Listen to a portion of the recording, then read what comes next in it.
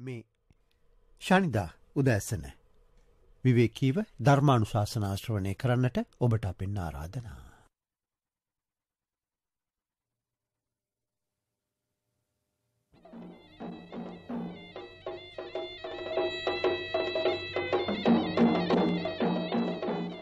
ධර්මානු ශාසනාව දේශකයාණන් වහන්සේ කොළන්නාව බෞද්ධ මධ්‍යස්ථානාධිපති කොළඹ බස්නාහිර පලාතේ ද්විතීය සංගනායක ශාස්ත්‍රපති පූජ්‍ය පාද පොත්තේවෙල විනීත ස්වාමින්ද්‍රයන් වහන්සේ. සියල දෙනා වෙනුවෙන්ම වන්දනීය ආරාධනය. අද ධර්මදේශනාවෙන් පහදා දෙන්නට. බුදුන් වහන්සේ පිළිබඳ විවිධ වූ උපමා කතා ඇත්තේ නම් උන්වහන්සේ පිළිබඳ වර්ණනාවට ලක්වුණු උපමානම් කුමක්දැයි පහදා දෙන්නට. සංයුතනිකායේ සකලික සූත්‍ර දේශනාව ඇසුරින් අද ධර්මානු ශාසනාව. සැදැහැවතුනී අපි ධර්මශ්‍රවනයට පෙර තිසරණ සහිත පංචසිලේ සමාදන්නෙම සඳහා නමස්කාරය කියමු. අවසරයි ස්වාමින් වහන්ස.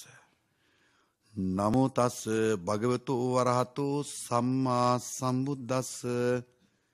සම්බුද්ධස්ස නමෝතස්ස භගවතු අරහතු සම්මා සම්බුද්ධස්ස නමෝතස්ස භගවතෝ අරහතු සම්මා සම්බුද්ධස්ස බුද්ධං සරනංගච්ඡාමි බුද්ධන් සරණංගච්චහාමි හම්මං සරනංගච්ඡාමි දම්මන් සරණංගච්චහාමි සංඝං සරනංගච්ඡාමි සංඝං සරණංගච්චහාමි දුතියංපි බුද්ධං සරනංගච්ඡාමි තියම්පි බුද්ධන් සරණංගච්චහාමි දුතියංපි ධම්මං සරනංගච්ඡාමි තියම්පි දම්මන් සරණංගච්චහාමි තියංපි සංඝං සරනංගච්ඡාමි තියම්පි සංඝං සරණංගච්චහාමි තත්තියංපි බුද්ධං සරනංගච්ඡාමි තත්තියම්පි බුද්ධන් සරණංගච්චහාමි තත්තියංපි ධම්මං සරනංගච්ඡාමි තත්තියම්පි දම්මන් සරණංගච්චහාමි තත්තියංපි සංඝං සරනංගච්ඡාමි තත්තියම්පි සංඝං සික්ඛාපදං සමාදියාමි පානාති පාතා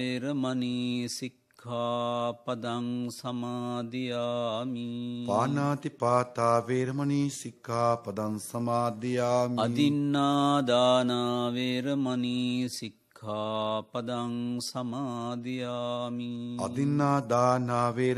සික්ඛාපදං සමාදියාමි. කාමේසු මිච්ඡාචාරාවේරමනී සික්ඛාපදං සමාදියාමි. කාමේසු මිච්ඡාචාරා වේරමණී සික්ඛාපදං සමාදියාමි. මුසාවාදාවේරමනී සික්ඛාපදං සමාදියාමි. මුසාවාදා වේරමණී සික්ඛාපදං සමාදියාමි. සුරාමීරය මජ්්‍ය පමාදට්ඨානාවේරමනී සික්ඛාපදං සමාධයාමි සුරාමේරය මජ්්‍යපමා දට්ටානා වේරමණී සික්ඛාපදං සමාදියාමි. සමන්තා චක්ඛවාලේසු අත්‍රාගච්ඡන්තු දේවතා සද්ධම්මං නිරාජස්ස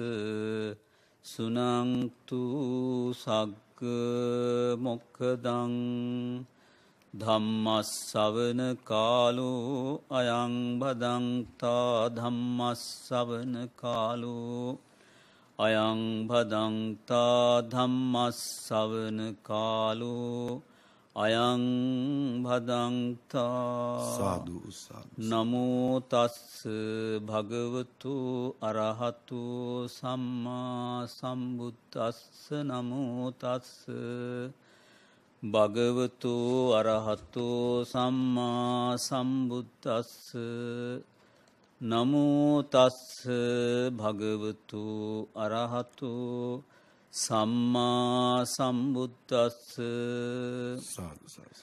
මානං පහාය සුසමාහි තත්තෝ සුචේතසෝ සප්පදී විප්පමුත්තෝ ඒකෝ අරං්ඥේ විහරං අපමත්තෝ සමච්චු දෙයස්ස තරෙය පාරංති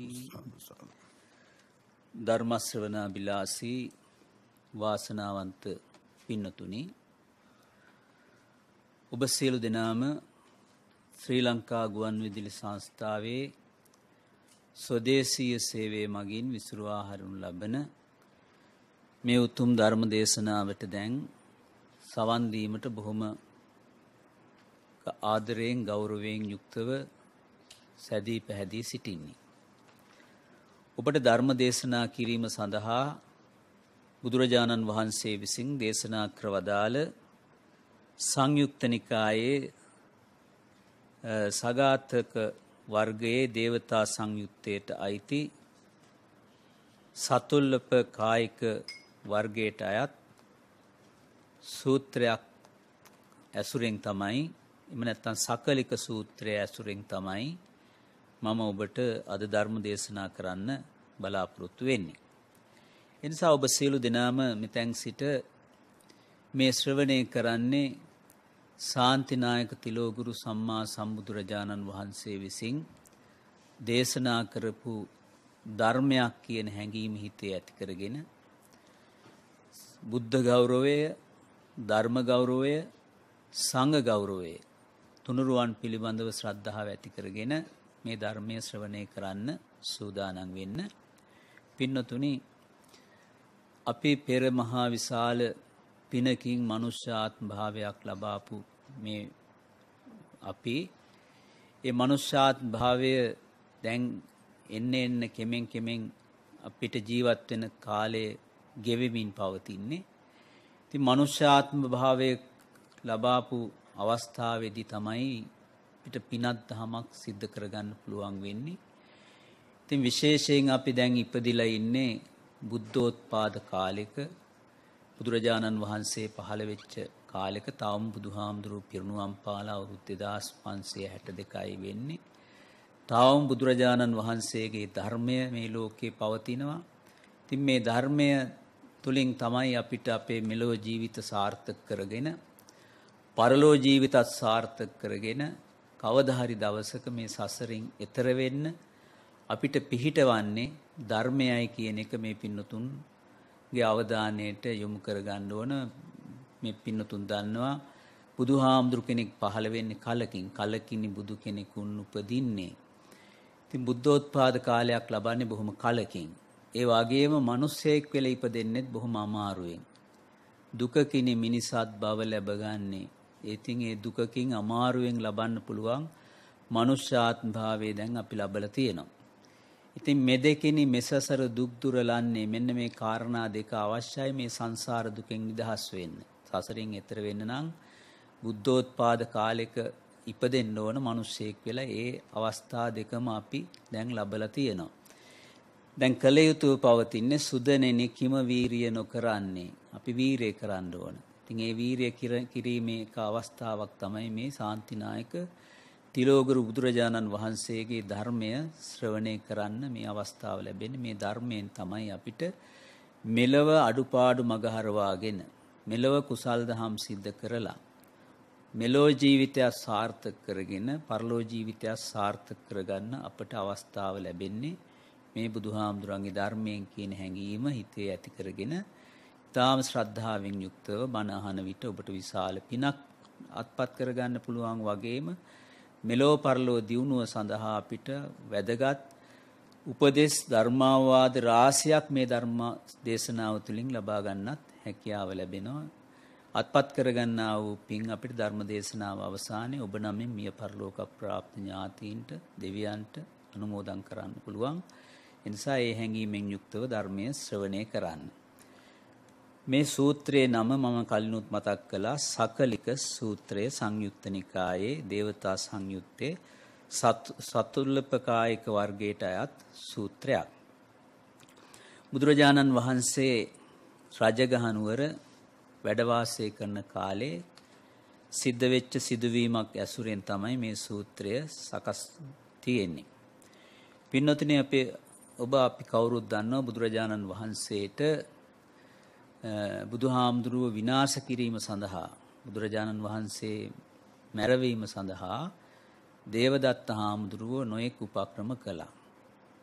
බුදුහාමුදුරුව විනාශ කළා මේ බුදු වෙන අපේක්ෂාවෙන් අජාසත්ත රජ්ජුරුවොත් එක්ක එක්කහු වෙලා නොයෙක් දේවල් කළා දුනුවා යන්නේ දුවා යෙදුවට බුදුහාමුදුරුවන්ට හානියක් කරන්න හැකියාවක් ලැබුණ නැහැ.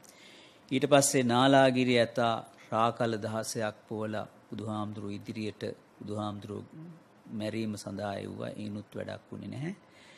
ඊට පස්සේ දේවදත්ත හාමුදුරුවෝ කල්පනා කළා මම්ම මේක වැඩේ කරන්න ඕනේ කියලා බුදුහාමුදුරුවෝ දවසක් ගිජ්ජකූට පර්වතයේ පාමුල සක්මන් කරමින් ඉන්න අවස්ථාවේදී මේ දේවදත්ත හාමුදුරුව බොහොම ශක්තිමත් කෙනෙක්. තමන්ගේ අතට මහ විශාල ගලක් අරගෙන බුදුහාමුදුරුව ඒ සක්මන් කරන ඉසව්වට ඒ ගලෙන් පෙරලා තල්ලු කළ ඇරිය බුදුහාමුදුරුවන්ට සුණු විසුණු වෙන යාමේ අදහසින්. නමුත් බුදුහාමුදුරන්ට හානියක් වුණ නෑ පින්නොතිනි කවදාවත් බුදු කෙනෙක් ඝාතනය කරන්න බෑ කාටවත්. බුදුරජාණන් වහන්සේ කෙනෙක් ඝාතනය කරන්න මරන්න හැකියාව නැහැ. රහතන් වහන්සේලා මරන්න පුළුවන්. රහතන් වහන්සේ දැන් මුගලන් ආමතුරු මැරුවා. ඒ වගේ රහතන් වහන්සේලා මරන්න පුළුවන්. නමුත් බුදු කෙනෙක් ඝාතනය කිරීමේ හැකියාවක් නැහැ. ඒක ධම්ම නියාමයක්. ධර්ම නියාමයට අති කාරණයක්. ඉතින් නමුත් බුදුහාමුදුරුවෝ ඒ පෙරලපු ගල බුදුහාමුදුරන් ළඟට ආවේ නැහැ. වෙනත් ගලක් මතුවෙලා බුදුරජාණන් වහන්සේ ආරක්ෂා කළා. නමුත් අර ගලෙන් විසිවෙච්ච පතුරක් කැඩිලා විසිවෙච්ච පතුරක් ගිහිල්ලා බුදුරජාණන් වහන්සේගේ ශ්‍රී පාදයේ වැදිලා ලොකු තුවාලයක් ඇති වුණා ලොකු තැල්මක් ඇති වුණා. ඒ තැල්ම නිසා බුදුහාමුදුරන්ට විශාල වේදනාවක් ඇති වුණා. ඉතින් දේවදත්තේ බලාපොරොත්තු වෙච්ච වැඩේ කරගන්න හම්බුන්නේ නැහැ. නමුත් බුදුහාමුදුරන්ගේ පෙර කර්ම දෝෂයක් නිසා බුදුරජාණන් වහන්සේටත් පෙර කර්ම බලපෑ බව මේ පින්නතුන් දන්නවා බුදුහාමුදුරන් පෙර ආත්මික පසේ බුදුහාමුදුරු කෙනෙකුට මේ කන්ද පාමුල වැඩ වඩමින් ඉන්න පස්සේ බුදුහාමුදුරු කෙනෙකුට ගලකින් ගැසීමේ පාප කර්මයට විපාක විදියට අර ගල් පතුරක් ඇවිල්ලා බුදුහාමුදුරුවන්ගේ පාදය තුවාල වුණා. විශාල තැල්මක් ඇති වුණා. ඉතින් බුදුහාමුදුරන්ට අධික වේදනාවක් ඇති වුණා. නමුත් උන්වහන්සේගේ චිත්ත ශක්තිය ධාන ශක්තිය නිසා ඒවා ඉවසා දරාගෙන හිටියා.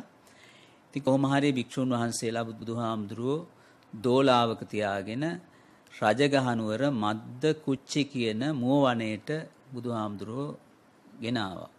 වැඩැම්මුව බුදුහාමුදුරුවෝ දෝලාවක තියලා වැඩැම්මුවා. වැඩැම්මලා බුදුහාමුදුරුවන්ට බොහොම වේදනා කරයි. ඒ මද්ද කුච්චි කියන වනේ මුව වනයක්. මුවන්ට නිදහසේ හැසිරෙන්න තිබිච්ච මිගදාය වගේ මුව වනයක් වරණස් තිබිච්ච. ඉතින් මේ මද්ද කුච්චි කියන වනය රජගහනුවරට අයිති. ඒ නම ලැබෙන්න හේතුව තමයි රජගහනුවර රජ කළේ බිම්බිසාර රජුරුව. බිම්බිසාර රජුරුවන්ගේ පුතා තමයි අජාසත්ත කුමාරයා. අජාසත්ත කුමාරයා මව්කුසට ආපු අවස්ථාවේ පිළිසිඳගත් අවස්ථාවේ රජමාලිගාවේ තිබිච්ච ආයුධ පවා දිලිසෙන්න පටන් අරන් තියෙනවා. ඒ අජාසත්ත කුමාරයා දේවියගේ කුසට කුසේ පිළිසිඳගත් අවස්ථාවේ රජමාලිගාවේ තිබිච්ච ආයුධ දිලිසලා තියෙනවා. එතකොට පුරෝහිතයන්ගෙන් ඇහුවම රජුරුවට දැනගන්න ලැබුණා මහා භයානක පුතෙක් තමයි මේ පිළිසිඳගෙන ඉන්නේ මේ පුතා කවදා හරි තාත්තත් මරණෝ රජුරුවොත් මරණවා කියන එක දැනගන්න ලැබුණා. ඉතින් මේක දැනගත්තට පස්සේ දේවිය කල්පනා කළා මේ පුතා කුසේදිම නැති කරන්න. කුස ඇතුළේදිම නැති කරන්න කල්පනා කළා මෙන්න මේ ස්ථානයේදී තමයි ගිහිල්ලා තමන්ගේ කුස තදින් මිරිකලා ඒ දරුගැම නැති කරන්න උත්සාහ ගත්ත තැන තමයි මද්ද කුච්ච කුච්චි කියලා කියන්නේ කුච්චි කියන්නේ කුසට කියන නමක්. ඒ කුස මිරිකලා ඒ දරුගැබ් විනාශ කරන්න හදාපු වනයේ තමයි මද්ද කුච්චි කියන වනේ. එතෙන්ට තමයි බුදුහාමුදුරුවෝ දැන් අර දෝලාවක තියාගෙන භික්ෂුන් වහන්සේලා වඩම්මගෙන ආවේ. ඉතින් බුදුහාමුදුරන්ට බොහොම අපහසුයි දැන්. අර කකුලේ වේදනාව තාම දැඩි වේදනාවක් තිබුණේ. ඉතින් බුදුරජාණන් වහන්සේ සංගල තිවුර හතර පටකට නමලා එතන සිංහසෙයියාවෙන් දකුණු කකුලට පොඩ්ඩක් ඈත් කළ වම් කකුල තියාගෙන සැතප දිග ඇරිලා සිංහසෙයියාවෙන් ඉන්න වෙලාවේදී රාත්‍රියේ පින්නතුනි සතුල්ලපකායක කියලා දෙවිවරු 500ක් බුදුරජාණන් වහන්සේ බැහැ දකින්න ආවා. මේ සතුල්ලප කියන වචනේ තේරුමත් පතුර කියන තේරුම. සතුල්ලප කියලා කියන්නේ පතුර. ඒ පතුරක් වැදීමෙන් වෙච්ච තුවාලය නිසා බුදුහාමුදුර වැඩ හිටපු තැන තමයි මද්ද කුච්චි කියන ඒ වනේ. ඉතින් රාත්‍රී ඒ දෙවිවරු විශාල පිරිසක් 500ක් ඒ සතුල්ලපකායි දෙවිවරු 700ක් ගැන සඳහන් වෙනවා බුදුරජාණන් වහන්සේ බැහැ දකින්න ආවා. ඉතින් ඒ සතුල්ලපකායික දෙවිවරු ගැනත් වචනයක් කියන්න ඕන මේ සතුල්ලපකායික දෙවිවරු කියලා කියන්නේ තාවතින්ස දිව්‍ය ලෝකේ ඉන්න බොහොම සැප සම්පත් විඳින බොහොම මේ හොඳ දිව්‍ය ජීවිතයක් ගත කරන දෙවිවරු 700ක්. ඒ 700 දිව්‍ය ලෝකේ යන්න හේතුව තමයි ඒ දෙවිවරු මනුස්ස ලෝකේ ඉන්න කාලේ දවසක් නැවකින් වෙළඳාමි ගිහිල්ලා තියෙනවා කට්ටියක් විශාල පිරිසක්. නැවකින් විශාල පිරිසක් වෙළඳාමි ගිහින් තියෙනවා. ඒ වෙළඳාම යනකොට මේ නැව කොහොම හරි මූද මැදදී මූදුපත් වෙන්න ගිලෙන්න පටන් අරන් තියෙනවා. ගිලෙන්න පටන් අරගෙන තියෙනකොට දැන් සේරම දන්නෝ දැන් අපේ මරණේ මේ ළඟ ළඟ එන විත්තිය. දැන් මූද නැවට වතුර ඇවිල්ලා මූ දැන් නැව ගිලෙන්න පටන් අරගෙන තියෙනවා. ඉතින් දැන් සේරම ජීවිත ආසාව නිසා ජීවිතේ බේරගන්න විදියක් නැති නිසා විවිධ යාඥා කරමින් අඬමින් කෑ ගහමින් ඉන්න අතරේ එක මිනිසෙක් විතරක් අඬන්නේ වැළපෙන්නේ නැතුව එක්තරා තැනකට වෙලා භාවනා කරමින් වගේ ඉඳලා තියෙනවා. ඊට පස්සේ එයා ළඟට ඇහුවම අනිත් අය ඔබ කිසි කලබලයක් නැත්තේ මොකද කියලා මට කිසි කලබලයක් නැහැ. මං මෙහෙට එන්නේ ඉස්සෙල්ලා භික්ෂූන් වහන්සේලාට දානයක් දීලා පන්සිල් සමාදන් වෙලයි ආවේ. තිසරණ සහිත පන්සිල් සමාදන් වෙලා ආවේ. මම ඒ තිසරණ සහිත සමාදන් වෙච්ච සීලය මෙනෙහි කරමින් ඉන්නවා කිව්වා. ඒ නිසා මට බයක් නැහැ කියලා කිව්වා. ඊට පස්සේ අර අනිත් අයත් කිව්වා දැන් මෙයා විතරයි බය නැතුව අර සීලය සිහිපත් කරමින් ඉන්නේ. දැන් මරණේ පෙනි පෙනි. අනිත් අයත් කිව්වා එහෙනම් අපිටත් ඒ පන්සිල් පිටවන්න කියලා. ඉතින් ඒ නැවේ 700ක් හිටියා. ඒ 700 දෙනාම 100 100 කොටස් වශයෙන් අරගෙන පන්සිල්ලි පිහිටෙව්වා. පිහිටවල පිහිටවල ඉවර වෙනකොට සීළු දෙනාගේම මේ බෙල්ල ළඟට වතුර ඇවිල්ලා.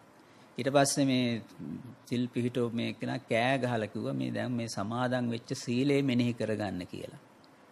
ඒ සීලය මෙනෙහි කරගෙන ඉන්න ගමම්ම තමයි අර නැව මූදුපත් වෙලා අරගොල්ලෝ මිය ගිහිල්ලා තවතිසා දිව්‍ය ලෝකේ සතුල්ලපකායික දෙවිවරු විදියට ඉපදුනේ පහළ වුණේ ඉපදුන නෙමෙයි මේ ඕප්පාතිකව පහළ වුණේ අන්නේ දෙවිවරු පිරිස තමයි බුදුරජාණන් වහන්සේ බලන්න මේ මද්ද කුච්චේ කියන මුවවනේට එදා රාත්‍රී මුළු ප්‍රදේශෙන් බබළුවාගෙන ආවේ. ඉතින් මේ මද්ද කුච්චි කියන වනයේට ආපු මේ දෙවිවරු බුදුරජාණන් වහන්සේගේ මේ දැන් බුදුහාමුදුරුවෝ දැඩි වේදනාව තිබුණත් ඒක විඳ දරාගෙන ධාන ශක්තියෙන් චිත්ත ශක්තියෙන් උන්වහන්සේ විඳ දරාගෙන ඉන්නෝ දැකලා දෙවිවරු මේ සංවේගය නෙමේ පහල කළේ උදන් උදාන වාක්‍ය පහල ප්‍රකාශ කළා මේ බුදුහාමුදුරන්ගේ ශක්තිය ධාන ශක්තිය මේ තරම් දරුණු වේදනාවක් විඳගෙන ඉන්න පුළුවන් ශක්තිය පිළිබඳව උදන් අනන්න පටන් ගත්ත දෙවිවරු. උදාන වාක්‍ය ප්‍රකාශ කරන්න පටන් ගත්තා. එක දෙවියෙක් එක දෙවියෙක් බුදුහාමුදුරුවෝ දිහා බලලා බුදුරජාණන් වහන්සේට කියනවා දැන් මගේ මාතෘකාව තමයි බුදුහාමුදුරුවෝ පිළිබඳව තියෙන උපමා පිළිබඳව මේ දේශ මේ සූත්‍රය ඇසුලින් පැහැදිලි කිරීම. මේ දෙවියා කියනවා බුදුරජාණන් වහන්සේ ඒකාන්තයෙන්ම නාගයෙකි කියලා. නාගයෙකුට උපමා කරනවා. නාගයා කියලා කියන්නේ මෙතන මේ නයි නෙවෙයි. නාගයා කියලා කියන්නේ හස්තියෙකුට. හස්තියෙකුට. බුදුහාමුදුරුවෝ නරනාග කියලා බුදුහාමුදුරන්ට වචනයක් තියෙනවා. බුදුහාමුදුරුවෝ මෙතෙන්දී උපමා කරන කාටද? හස්තියෙකුට. ඒ මොකද බුදුහාමුදුරුවෝ හස්තියෙකුට උපමා කරන්නේ ඊ타ම දුක් සහිත වූ දැඩි වූ කටුක වූ අමිහිරි වූ අමනාප වූ උපන් ශාරීරික වේදනාවන් නාග බැවින්ම මනා සිහිනුවණින් ඇතුව නොපෙළෙමින් ඉවසා දරාගෙන ඉන්න නිසා හස්තියෙකුට බුදුහාමුදුරු උපමා කරනවා. දැන් හස්තියෙකුට දැන් කොච්චර දැන් බුදුහාමුදුරුවම එක අවස්ථාවක දේශනා කළා තියෙනවා මං හරියට යුද්ධ පිටියක ඉන්න හස්තියෙක් වගේ කියලා. දැන් යුද්ධ පිටියක ඉන්න හස්තියට හැම පැත්තෙම ඊතල පහරවල් වදිනවා. නමුත් එයා ඒවා කාගෙන ඉස්සරහට යනවා. අහං නාගෝව සංගාමේ චාපාතෝ පතිසං සරං. අහං නාගෝව සංගාමේ චාපාතෝ පතිසං සරං. අතිවාක්‍යං තිතික්කිස්සං දුස්සීලෝහි බහුජ්ජනෝ.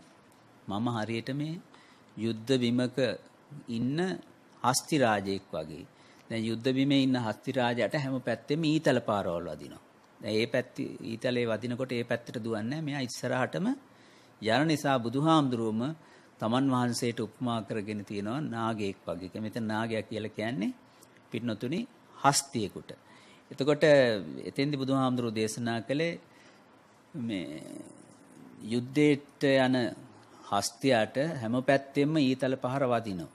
ඒ වගේ මාත් මිනිස්සුන්ගෙන් නොඑක් ඇනුම් බැනුම්. බුදුහාමුදුරන්ට කොයිතරම් සතුරන් කොයිතරම් කරදර හිරිහැර පීඩා සිද්ධ කළාද මං හිතන්නේ බුදුහාමුදුරන්ට තරම් හතුරු හිටියේ නෑ.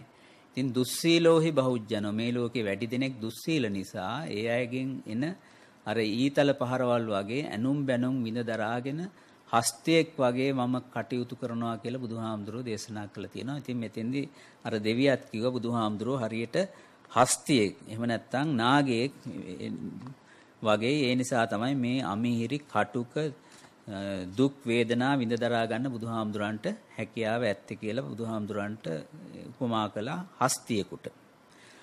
ඒ වගේම තවත් දෙවියෙක් බුදුරජාණන් වහන්සේට ප්‍රකාශ කළා මේ භාග්‍යතුන් වහන්සේ ඒකාන්තයෙන්ම සිංහෙක් කියලා. දැන් සිංහයා කියලා කියන්නේ කැලේ ඉන්න ප්‍රධානම සතා මිගරාජ. සත්තුන්ගේ ප්‍රධානය තමයි සිංහයා. සිංහයාට කිසිම බයක් නැහැ. මොකද සිංහයාට කිසිම තර්ජනයක් කරන්න පුළුවන් සතෙක් කැලේ නැහැ. ඒ නිසා සිංහයා කිසිම බයක් තැති ගැනීමක් නැතුව ඕනම වෙලාවක බයක් සැකක් නැතුව ඉන්න සතෙක් තමයි සිංහයා. ඉතින් මේ දෙවියත් බුදුහාමුදුරුවන්ට උපමා කළා සිංහෙක් වගේ කියලා. මොකද මෙච්චර වේදනාවක් විඳ දරාගෙන කිසිම බයක් සැකක් දුකක් කරදරයක් නැතුව බුදුරජාණන් වහන්සේ විඳගෙන ඉන්න ශක්තිය දැකලා. ඒ වගේම තවත් දෙවියෙක් මෙතෙන්දි උපමා කළා බුදුරජාණන් වහන්සේ හරියට ආජානීය අශ්වයෙක් වගේ කියලා. දැන් අශ්වයෙන්ගෙන් තියෙන ශ්‍රේෂ්ඨම අශ්ව කුලය තමයි මොකද්ද? ආජානීය. පුතාම් වේගයෙන් යන්න ජව සම්පන්න හස්තියා ඒ යුද්ධයට ගියාන් පස්සේ ඕනම ඊතල පාරවල් ඒවා විඳ දරාගෙන ඉස්සරහටම යන සතෙක් තමයි ආජානීය අශ්වයෙක්. ඉතින් ආජානීය අශ්වයෙකුටත් බුදුරජාණන් වහන්සේ මේ සූත්‍රයේදී ඒ දෙවියෙක් උපමා කළා. දැන් උපමා කීයක් කිව්වද? එකක් නාගයෙකුට. එහෙම නැත්නම් හස්ති රාජයෙකුට උපමා කළා. ඊළඟට සිංහයෙකුට උපමා කළා. ඊළඟට ආජානීය අශ්වයෙකුට උපමා කළා. ඊළඟට අනිත් තව දෙවියෙක් බුදුහාමුදුරු උපමා කළා මේ ඒකාන්තයේම භාග්‍යවතුන් වහන්සේ නිසබයකි. නිසබයකි. නිසබයෙක් කියලා කියන්නේ පින්නතුනේ වෘෂභය. වෘෂභය කියන්නේ කවුද? ගොන්නු. ගොන්නු 100කට නායකයාට කියනවා වෘෂභ කියලා. එතකොට ඒකෙන් අදහස් කරන්නේ වෘෂභ කියන්නේ අර ගොන්නු 100ක ශක්තිය තියෙනවා ඒ වෘෂභ කියන සතාට. වෘෂභ කියන්නේ ගොන්නු 100ක නායකයා. ගොන්නු 1000ක නායකයාට ශක්තිය තියෙනවා. එයාට කියනවා වසබ කියලා. වසබ. ඊට පස්සේ ගොන්නු ලක්ෂයක නායකයට කියනවා නිසබ කියලා. එතකොට ගොන්නු ලක්ෂයක ශක්තිය තියෙන නායකයෙක් තමයි නිසබ කියලා කියන්නේ. බුදුහාමුදුරුවෝ මේ දෙවියා උපමා කරනව කාටද නිසබේකට. ඒ දැන් ගොන්නු කියලා කියන්නේ බර ආදින සතෙක්. ඕන බර උසලන්න පුළුවන් සතෙක්. ඉතින් ඒනොත් නිසබේක් කියලා කියන්නේ ගොන්නු ලක්ෂයක ශක්තිය තියෙන සතෙකුට බුදුරජාණන් වහන්සේ උපමා කරනවා. උපමා කරන්න හේතුව තමයි අරතරම් දැඩි කායික වේදනාවක් බුදුහාමුදුරුවෝ චිත්ත ශක්තිය බලයෙන් එහෙම නැත්නම් ධාන ශක්තිය බලයෙන් විවසා විඳ දරාගෙන හිඳීම නිසා. දැන් එතකොට උපමා හතරයි. තවත් උපමාවක දුරදෝරයිහෙක් කියලා. ඒ කියන්නේ බර උසුලන සත්‍යකට තම බර උසුලන කෙනෙකුට තමයි ඒ නම කියන්නේ. බුදුහාම එක දෙවියෙක් කියනවා වාග්යතුන් වහන්සේ ඒකාන්තයෙන්ම දුරදෝරයිහෙක් කියලා. ඒ වගේම තවත් දෙවියෙක් කියනවා භාග්‍යතුන් වහන්සේ අතිශයම දාන්තේ කියන්නේ දැමුණු තැනැත්තේ. කිසි දොසක් සොයාගත නොහැකි දැමුණු තැනැත්තෙක් ඒ දැමුණු ගතිය නිසා තමයි බුදුරජාණන් වහන්සේ මෙච්චර මේ වේදනා විඳ දරාගෙන ඉන්නේ කියලා ඒ දෙවියා ප්‍රකාශ කළා. ඊට පස්සේ දැන් දෙවිවරු 6 දෙනෙක් බුදුහාමුදුරන්ට උපමා කළා. මොනවාද උපමායි පළවෙනි එක්කෙනා නාගයෙක් කිව්වා. එහෙම නැත්නම් හස්තියෙක් වගේ කිව්වා. අනිත් එක්කෙනා කිව්වා සිංහෙක් වගේ කියලා කිව්වා. අනිත් එක්කෙනා ආජානීය අස්වැක් වගේ කියලා කිව්වා. අනිත් එක්කෙනා නිස නිසබේක්. නිසබේක් කියලා කියන්නේ මම නැවතත් මතක් කරනවා වෘෂභයන් කීයක නායකයේද ලක්ෂයකට නායකයෙක්ගේ ශක්තිය තියෙන කෙනෙක් කිව්වා ඊළඟ එක්කෙනා කිව්වා දුරදෝරාහියෙක් ඒ කියන්නේ මහා බර උසලන්න පුළුවන් කෙනෙක්. අනිත් එක්කෙනා කිව්වා දැමුණු කෙනෙක්. ඒ දාන්ත භාවය නිසා දැමුණු බව නිසා බුදුහාමුදුරුවෝ මේ තරම් මේ කායික වේදනාවක් උසුලාගෙන සිටිනවා කියලා. ඊට පස්සේ හත්වෙනි දෙවියා කියනවා බලන්න අපේ බුදුරජාණන් වහන්සේ මේ සමාධිය මනමින් වඩනා ලද රාගාදී සියලු කෙලෙසුන්ගෙන් මිදුණු මේ බුදුරජාණන් වහන්සේට නා පුරුෂ නාගයෙක් කියලා කිව්වා පුරුෂ සිංහෙක් කියලා කිව්වා පුරුෂ ආජානීයෙක් කියලා කිව්වා පුරුෂ නිසබේක් බඳු දෝරායියෙක් වඳු වගේම පුරුෂ දාන්තයෙක් වඳු මෙබඳු උත්තමයෙකුට බුදුහාමුදුරුව අර වගේ උපමාවලින් යුක්ත බුදුහාමුදුරුව වගේ උත්තමයෙක් යම් කිසි කෙනෙක් විනාශ කරන්න හිතනවා නම් මැඩලවන්න හිතනවා නම් පෙලීමට හිතනවා නම් ඒ හිතන එක්කෙනා කොයිතරම් අනුවන පුජ්‍යලේද්ද කියලා අනිත් දෙවියා කිව්වා. ඒ කියන්නේ අර තරම් අර තරම් ශ්‍රේෂ්ඨ සත්තුන්ගේ ඒ තරම් කායික ශක්තිය බලයක් තියෙන ශක්තුන්ට උපමා කරපු මේ බුදුහාමුදුරුව වගේ කෙනෙක් මැඩලන්න විනාශ කරන්න යම්කිසි කෙනෙක් කටයුතු කරනවා නම් ඊට ඒට වඩා මෝඩේ තවත් නැහැ කියන අදහස ඒ දෙවියා හත්වෙනි දෙවියා ප්‍රකාශ කළා.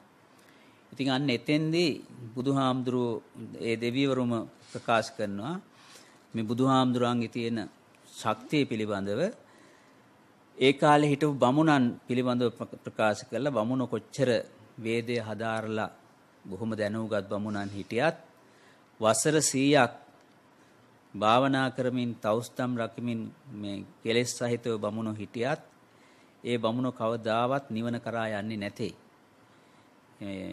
ඒ වගේ මාන්නේ තියෙන බමුණන් ඒ මාන්නේ ඇති බමුණන්ට හික්මීමක් නැත. ඒ වගේම සමාධියක් නැති එක්කෙනාට මුනි බවක්ද නැත ප්‍රමාදීව කටයුතු කරන්නේ බමුණන් කවදාවත් සසර පරතරයට යන්නේ නැtei කියලා ප්‍රකාශ කළා. එතෙන්දි බුදුහාමුදුරුවෝ දේශනා කරනවා මාන්නේ දුරුකොට මනාව සමාහිත වූ සිත් ඇතිව සියල්ලු උපදීන්ගෙන් මිදුණු තැනැත්තා අප්‍රමාදීව වනෙහි එකලාව වසන්නේද හෙතෙම මාරයාට හසු නොවූ සසර හසු නොවේ සසර පරතරයට යනවා කියලා. ඒ කියන්නේ බුදුරජාණන් වහන්සේ සියලු කෙලෙසුන් දුරු කළා, සිත සමාධිගත කරලා උන්වහන්සේ කවදාවත් මායයට හසු නොවන தත්වයටපත් වෙච්ච කෙනෙක් කියන එක තමයි බුදුහාමුදුරුවෝ එතෙන්දී ප්‍රකාශ කළේ.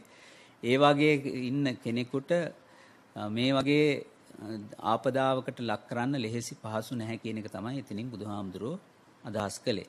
ඉතින් මෙන්න මේ සූත්‍රයේ මේ දෙවිවරු 6 දෙනෙක්ම බුදුහාමුදුරන්ට අර විදියට උපමා වලින් දක්වලා තියෙනවා. ඉතින් පින්නතුනි නමුත් බුදුහාමුදුරුවෝ කිසිම කෙනෙකුට උපමා කරන්න බෑ.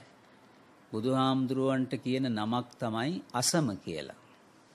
අසම කියලා කියන්නේ බුදුහාමුදුරුවෝ කිසි කෙනෙකුට සමාන කරන්න හැකියාවක් නැහැ. ඒ වගේම බුදුහාමුදුරු කෙනෙක් සමාන කරන්න පුළුවන් කාටද? බුදු කෙනෙකුට විතරයි. බුදුහාමුදුරු කෙනෙක් සමාන කරන්න පුළුවන් කාටද? බුදු කෙනෙකුට විතරයි.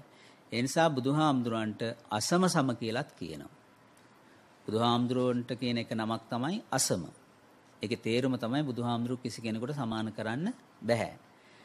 බුදුහාමුදුරු සමාන කරනවා නම් සමාන කරන්න පුළුවන් කාටද? තවත් බුදු කෙනෙකුට. ඒ නිසා බුදුහාමුදුරන්ට තවත් නමක් තියෙනවා අසම සම කියලා. අසම සම කියලා බුදුහාමුදුරන් කියනවා. ඒ වගේම බුදුහාමුදුරුවම දේශනා කළා නමේ ආචාරියෝ අත්ති සදිසෝ මේ නවිච්චති. මට ගුරුවරයෙක් නැත. ඒ වගේම මං හා සමාන කෙනෙක් නැහැ කියලත් බුදුහාමුදුරුවම දේශනා කළා තියෙනවා. නමුත් බුදුහාමුදුරුවෝ විවිධ තැන්වල විවිධ ආකාරයට උපමා කළා තියෙනවා. අර බුදුහාමුදුරුවෝ මර මම මුලින් දේශනා කරපු විදිහට තමන් වහන්සේ නාගයෙකුට එහෙම නැත්නම් හස්තියට උපමා කළා. අහං නාගෝව සංගාමේ චාපාතෝ පතිසංසරං අතිවාක්‍යන්ති තික්කිස්සන් දුස්සීලෝහි බහුජ්ජනෝ කියලා බුදුහාමුදුරුවෝ යුද්ධ භූමියේ ඉන්න හස්තියෙක් වගේ කියලා බුදුහාමුදුරුවෝ මා කළා. ඒ වගේම බුදුහාමුදුරන්ට ගැන බුදු කෙනෙක් ගැන බුදු කෙනෙක්ගේ ගුණ දන්නේ බුදුහාමුදුර කෙනෙක් විතරයි. ඒ බුදු කෙනෙක්ගේ ගුණ සම්පූර්ණයෙන්ම බුදු කෙනෙක් වෙන කිසිම බණක් කියන්නේ නැතුව කියන්න පටන් ගත්තොත් බුදුහාමුදුර කෙනෙක් ගුණ බුදුහාමුදුරුව කියන්න පටන් ගත්තොත් කල්ප ඉවර වෙන මිසක් බුදු ගුණ ඉවර වෙන්නේ නැහැ. බුද්ධෝපි බුද්දස්ස බණේ යවන්නම් බුදුහාමුදුර කෙනෙක් බුදු කෙනෙක්ගේ වර්ණා ගුණ කියන්න පටන් ගත්තොත් කල්පේ ඉවර වෙනවා බුදුහාමුදුරන් ගුණ ඉවර වෙන්නේ නැහැ. ඒ නිසා බුදුහාමුදුරුවෝ කෙනෙක් වෙන කිසි කෙනෙකුට සමාන කරන්න හැකියාවක් නැහැ. ඉතින් අර දෙවිවරු සමාන කළේ බුදුහාමුදුරන්ගේ තිබිච්ච උදාර ගුණය අර තරම් වේදනාවක් දුකක් දරාගෙන ඒ සිටීමේ ගුණය ලෝකේ ඉන්න ඉහළම සත්තුන් උපමා කරලා බුදුහාමුදුරුවෝ ඒ වගේ කියලා කිව්වට ඒක බුදුහාමුදුරුවෝ කිසි වෙලාවකවත් උපමා කිරීමේ හැකියාවක් ඇත්තේ නැහැ. ඒ වගේම බුදුහාමුදුරන්ට පුරිස සීහ කියලා කියනවා. නර සීහ කියලා කියනවා. ශාක්‍ය සීහ කියලා කියනවා. ශාක්‍යයන්ගේ සිංහයා නර මිනිසුන්ගේ මිනිසුන්ගේ සිංහයා මෙන්න මේ විදිහට බුදුහාමුදුරුවන්ගේ පිළිබඳ උපමා රාශියක් තියෙනවා. ඉතින් මේ සූත්‍රයේ අවසානයේදී බුදුරජාණන් වහන්සේ අර දේශනා කළ මානෙ දුරුකොට මනාව සුසංහිත වූ සමාහිත වූ සිත් ඇතිව සියලු උපදීන්ගෙන් මිදුණු තැනැත්තා අප්‍රමාදීව වනයේහි එකලාව වෙසෙන්නේද හෙතෙම මාරයාට හසු නොවන සසර පරතරයට පැමිණියේ කියලා බුදුහාමුදුරු දේශනා කළා. එතෙන්දී බුදුහාමුදුරු බුදුරජාණන් වහන්සේ කියලා කියන්නේ මාන්නේ සම්පූර්ණයෙන්ම දුරු කරපු එක්කෙනෙක්. දැන් අර ඉස්සෙල්ලා බමුණු ගැන ප්‍රකාශ කළ බමුණු වේද හදාරමින් කොච්චර ඒ වේද පිළිබඳ පරතරයට පත් වෙලා හිටියත් කැලේ අවුරුදු 100ක් භාවනා කළත් ඒ මාන්නේ තියෙන තාක්කල් ඔවුන්ට නිවනට කිට්ටු වෙන්නවත් බැරි කියලා බුදුහාමුදුරුවෝ දේශනා කළා. ඉතින් මාන්නේ කියන එක පින්නතුනි අපි දන්නවා මාන්නේ කියන එක නැති වෙන්නේ රහත් භාවයට පත්වීමෙන් පස්සේ. රහත් භාවයට පත්වීමෙන් පස්සේ තමයි මාන්නේ කියන එක නැති වෙන්නේ.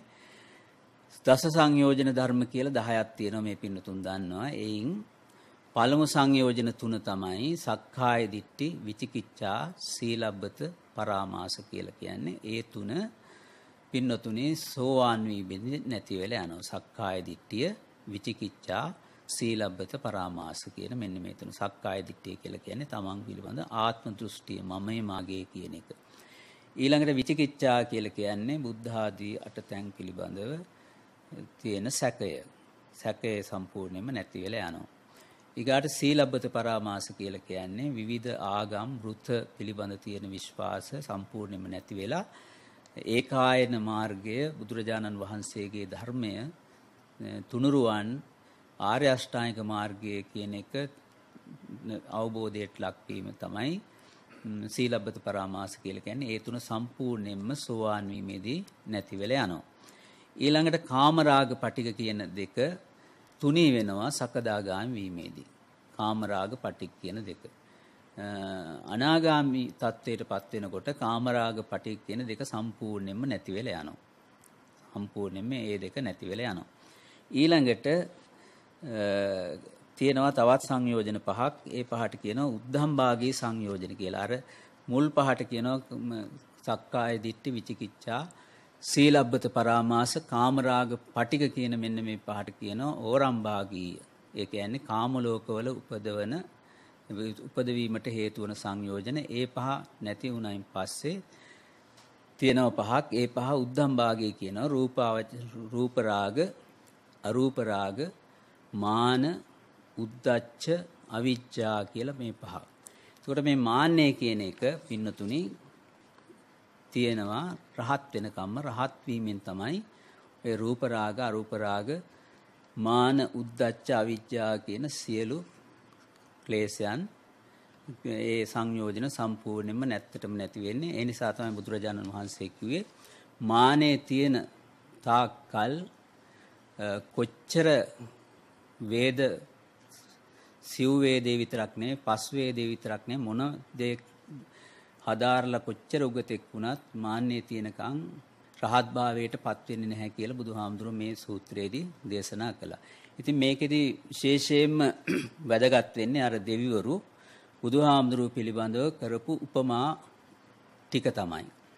ඒ උපමා ටික මම නැවතත් මතක් කළොත් මේ සක්කලික සූත්‍රයේ එක තමයි බුදුහාමුදුරුවෝ නාගයෙකුට උපමා කළා. නාගය කියන්නේ නයි නෙවෙයි. නැවතත් මම මතක් කරනවා. කවුද? හස්ති රාජයෙකුට උපමා කළා. ඊළඟට බුදුහාමුදුරුවෝ සිංහයෙකුට උපමා කළා. ඒ වගේම බුදුරජාණන් වහන්සේ උපමා කළා කාටද? ආජානීය අශ්වයෙකුට. ඊළඟට බුදුහාමුදුරුවෝ උපමා කළා නිසබේකුට. නිසබේ කියලා කියන්නේ මම නැවතත් මතක් කරන්නම්. නිසබ කියලා කියන්නේ ගොන්නු 100ක නායකයාට කියනවා වෘෂභ කියලා. 1000ක නායකයාට කියනවා 1000ක ශක්තිය කෙනාට කියනවා වසබ කියලා. ලක්ෂක ශක්තිය තියෙන එක්කෙනා තමයි නිසබ. ඒ තරම් සත්‍යකට බුදුහාඳුරු උපමා කළ දෙවිවරු ඒ උපමා කළේ අර කකුලට උන්වහන්සේගේ ශ්‍රී පාදයට වෙච්චේ දැඩි තුවාලය දේවදත්ත සිද්ධ කරපු ඒ අපරාධයෙන් සිද්ධ වෙච්ච ඒ තුවාලය විඳදරා ගැනීමේ ශක්තිය නිසා ඊළඟට බුදුහාමුදුරුවෝ දහන්තෙක් දැමුණු තැනැත්තෙක්ට උපමා කළා. ඉතින් මම නැවතත් මතක් කරන්න බුදුහාමුදුරුවන්ට එහෙම ඒ සතුන්ට සිංහයෙකුට අලියෙකුට ආදී සත්තුන්ට උපමා කළත් බුදුරජාණන් වහන්සේ එහෙම කාටවත් උපමා කරන්න පුළුවන් කෙනෙක් නෙවෙයි. බුදුහාමුදුරුව කෙනෙක් සමාන කරන්න පුළුවන් වෙන්නේ තවත් බුදු කෙනෙකුට විතරයි. ඒ නිසා තමයි බුදුහාමුදුරන්ට අසම කියලා කියන්නේ. ඒ වගේම බුදුහාමුදුරුව සමාන කරන්න පුළුවන් බුදු කෙනෙකුට නිසා තවත් නම බුදුහාමුදුරන්ට තියෙනවා අසම සම කියලා. ඉතින් මෙන්න මේ සූත්‍රයෙන් ඒ කාරණා ටික තමයි විශේෂයෙන් පැහැදිලි කරන්න තියෙන්නේ. ඉතින් මේ දේවදත්ත ගල් පෙරලීම තුලින් ඒ ඇතිවෙච්ච තුවාලය තුලින් බුදුහාමුදුරුව පීඩා වින්දා ජීවක වේද මහත්මයා ඒකට ප්‍රතිකාර කළා සනීප කළා කියලා බණ පොතේ සඳහන් වෙනවා. ඉතින් බුදුහාමුදුරන්ගේ උදාර ඒ ගුණයන් ඒ ඒ වෙච්ච සිද්ධිය ඇසුර තුලින් උදාර චිත්ත ශක්තිය, ඥාන ශක්තිය, ඉවසීමේ ශක්තිය ප්‍රකට කරන සූත්‍රයක් විදිහට තමයි විශේෂයෙන් මේ සකලික සූත්‍රය සඳහන් කරන්න පුළුවන් වෙන්නේ. ඉතින් මීට වඩා මම මේ ධර්ම දේශනාව දික් කරන්න බලාපොරොත්තු වෙන්නේ නැහැ. ඔබ සියලු දෙනාම බුදුරජාණන් වහන්සේගේ උදාර ගුණයන් සඳහන් වෙන ඒ සූත්‍ර ඇසුරෙන් බණ ටිකක් ශ්‍රවණය කළා. ඉතින් මේ දේවදත්තගේ වෛරය තමයි මේ උපනුපන් හැම ආත්මයකම කර ඇවිල්ලා බුදු බුදු වෙච්ච ආත්මෙදිත් බුදුහාමුදුරන්ගේ මස්සිනා ඥාතිත්වයෙන් සිද්ධාර්ථ කුමාරයාගේ මස්සිනා යසෝදරා දේවියගේ සහෝදරයා සුප්‍රබුද්ධ රජුරුවන්ගේ පුතා ඒ වෛරක්කාරයා අන්තිමට බුදු බව ලබා ගැනීම සඳහා දේවදත්ත කුමාරයාත් එක්ක රජුරුවත් එක්ක හොයලා කරපු අසාර්ථක ව්‍යායාමයේ එක්තරා අවස්ථාවක් විදිහට සඳහන් කරන්න පුළුවන්. මේ වෛරය ඔබ දන්නවා එක ආත්මයකදී දෙහකදී ඇතිවෙච්ච එකක් නෙවෙයි. මේ වෛරය පටන් ගත්තේ වහලා තියෙනවා සේරි වාණිජ ජාතකයේ සේරි වාණිජ ජාතකයේ කච්චපුට කියන වෙලෙන්ද තමයි බුදුරජාණන් වහන්සේගේ පෙර බෝධිසත්ව ආත්ම භාවය සේරිවාණිජ වෙළෙන්දාර රන්තැලිය ගැට් ගැටලුව සන්තලී ප්‍රශ්නය. ඒ එතනින් ආරම්භ වෙච්ච වෛරය තමයි උපනුපන් හැම ආත්මයක බුදුහාමුදුරන්ගේ හතුර විදියට බෝධිසත්ව හැම ආත්මයකදී ඉපදිලා බුද්ධත්වයට පත්වෙච්ච ආත්මෙදී තමන්ගේ ඊටාම කිට්ටු ඥාතිවරයෙක් බවටත් පත් වෙලා මස්සිනා බවටත් පත් වෙලා බුදුහාමුදුරුවෝ ළඟ මහාන වෙලා භාවනා කළා. ධානය ශක්තියත් උපදවාගෙන අහසින් යන්න පුළුවන් තත්වයකටත් පත් වෙලා අර පංචානන්තරේ කර්ම වලින් එකක් සිද්ධ කරගත්ත බුදුරජාණන් වහන්සේගේ ශ්‍රී ශරීරයේ ලේසලවීමෙන් ඉතින් බුදුහාමුදුරුවෝ කිසි කෙනෙකුට මරන්න හැකියාවක් නැහැ. ඒක ධම්ම නියාමයක් කියන එකත් විශේෂයෙන්ම මේ තුලින් පැහැදිලි මේ තුලින් විශේෂයෙන් පැහැදිලි වෙනවා පැහැදිලි වෙන කාරණයක්. එතකොට පංචානන්තරේ කර්ම වලින් බරපතලම පංචානන්තරේ කර්මයේ සිද්ධ කරගෙන අපායගාමී වුණා කියන එක බුදුරජාණන් වහන්සේ ඒ අවස්ථාවේදීත් ප්‍රකාශ දේශනා කළා. ඉතින් මේ වෙලාවේදී මේ පින්නතුන් අත්පත් කරගත් මේ බණ ඇසීම තුලින් පන්සිල් සමාදන් වීම තුලින් බුදුහාමුදුරෝ දේශනා කරපු සූත්‍රයක් ඇසුරු කරගෙන බණ ඇසීම තුළින් අත්පත් කරගත්තා වූයේ සියලු ආනිසංස බලයෙන් මේ බණ ඇසීමට පැමිණි විදායකත්වයේ දරපු ඔබ නමින් මිය පරලෝක ප්‍රාප්ත සියලුම ඥාතීන් ඒ වගේම රට පුරා මේ බණ අහපු ඔබ සියලු දෙනාගේම නමින් මිය පරලෝක ප්‍රාප්ත ඥාතීන් මේ පින්පෙත් අනුමෝදන් වෙලා බලාපොරොත්තු බෝධියකින් අමා මහ නිවන් සප සාක්ෂාත් කරගනිත්වා ඔබ සියලු දෙනාටමත් මේ ධර්ම ශ්‍රවණානිසංසයේ බලයෙන් දෙව් මිනිස් සැප කෙලවර අමා මහ නිර්වාණ සම්පත්තියටම හේතු වාසනා වේවා කියලා ප්‍රාර්ථනා කරනවා. සාදු සාදු සාදු. දායකත්වයේ දරූ සියලු දෙනා නමින් මේ පරලෝක ප්‍රාප්ත ඥාතීන් මේ සියලු පින් බණ ඇසීමෙන් දහම් පඬුරු පූජා කිරීමෙන් අත්පත් කරගත්තා වූ සියලු පින් බලයෙන් ඒගොල්ලෝ බලාපොරොත්තු වන බෝධියකින් අමා මහ නිර්වාණ සම්පත්තිය සාක්ෂාත් කරගනිත්වා කියලා ඥාතීන්ට සාදු කියලා පින් දෙන්න. ඔබ සියලු දෙනාටමත් මේ බණ ඇසීම තුලින් අත්පත් කරගත්තා වූ සියලු ධර්මයන්ගේ බලයෙන් මෙලෝ පරලෝ කෙලවර දෙව් මිනිස් සැප කෙලවර අමා මහ නිර්වාණ සම්පත්තියම සාක්ෂාත් වේවා කියලා කවුරුත් ප්‍රාර්ථනා කරගන්න. ආකාසට්ඨා ච බුම්මට්ඨා දේවා නාග මහිත්‍තිකා පුඤ්ඤන්තං අනුමෝදිත්වා. චිරං රක්ඛන්තු ලෝක සාසනං ආකාසට්ඨා ච බුම්මට්ඨා දේවා නාග මහිත්‍තිකා පුඤ්ඤන්තං අනුමෝදිත්වා. චිරං රක්ඛන්තු ලෝක සාසනං ආකාසට්ඨා ච බුම්මට්ඨා දේවා නාග මහිත්‍තිකා පුඤ්ඤන්තං අනුමෝදිත්වා චිරං රක්ඛන්තු ත්වං සදා ධර්ම ශ්‍රවණානි සංසේන් සැමටම අමා මහ නිර්වාණ සම්පත්තියම සාක්ෂාත් වේවා සාදු සාදු සාදු. ධර්මානුශාසනාව පැතු දේශකයාණන් වහන්සේ කොළුන්නාව බෞද්ධ මධ්‍යස්ථානාධිපති කොළඹ බස්නාහිර පළාතේ ද්විතීය සංඝනායක ශාස්ත්‍රපති පූජ්‍යපාද පොත්තේවිල විනීත ස්වාමීන්ද්‍රයන් වහන්සේ. උන්වහන්සේටත් මෙවන් වූ ශාසනික කටයුතු තව තවත් ඉටු කරන්නට ශක්තිය ධෛර්ය නිදුක් නිරෝගී සුවය තුනුරුවන්ගේ ආශිර්වාද ලැබේවා කියා අපි සාදුකාරය පවත්වා ආශිර්වාද ප්‍රාර්ථනා කරමු. සාදු සාදු සාදු. මෙම ධර්මදේශනාවේ සංයුත තැටියක් හෝ කැසට් පටයක් ඔබට අවශ්‍ය නම් ඒ පිළිබඳ වැඩිතුරු තුරු මෙම දුරකථන අංකයෙන් විමසන්න. බිඳුවයි එකයි එකයි තිහයි හත්සිය දහයයි අසූ දෙක. බිඳුවයි එකයි එකයි තිහයි හත්සිය දහයයි අසූ දෙක. ශ්‍රාවක පින්වත් ඔබටත් පුළුවන් මෙවන් වූ ධර්මදේශනාවක දායකත්වය ලබා ගන්නට. ඒ පිළිබඳ වැඩිතුරු තුරු ආගමිකන්සයෙන් විමසන්න. දුරකථන අංකයේ බිඳුවයි එකයි එකයි දෙකයි හයසිය අනු හතයි එකසිය හතලිය. බිඳුවයි එකයි එකයි දෙකයි හයසිය අනු හතයි එකසිය හතලිය ආගමික අන්සේ දුරකථනංකය. විදෙස්ගත විශ්න මේ ඥාතිත මිත්‍රාදින්න පුළුවන් ශ්‍රී ලංකා ගෝංගි සංස්ථාවේ ස්වදේශීය සේවය ඔස්සේ විසුරුවා ලබන මෙම ධර්ම දේශනාවට සවන් දෙන්නට අපේ වෙබ් අඩවියට පිවිසීමෙන් වෙබ් අඩවිය www.slbc.lk වෙබ් අඩවියට පිවිසෙන්න ධර්ම ශ්‍රවණය කරන්න සියලු දෙනාටම තෙරුවන් සරණයි